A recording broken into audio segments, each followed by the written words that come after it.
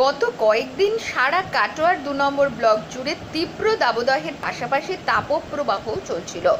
সোমবার বিকেলে ঝড় বৃষ্টি হয় কাটোয়ার দু নম্বর ব্লকের সিবাটি গ্রাম পঞ্চায়েতের অন্তর্গত নন্দীগ্রামে বিকেলে বৃষ্টিও হয়, প্রচণ্ড গরমের পর হঠাৎ ঝড় বৃষ্টিতে গরম থেকে স্বস্তি মেলে জনমানুষে।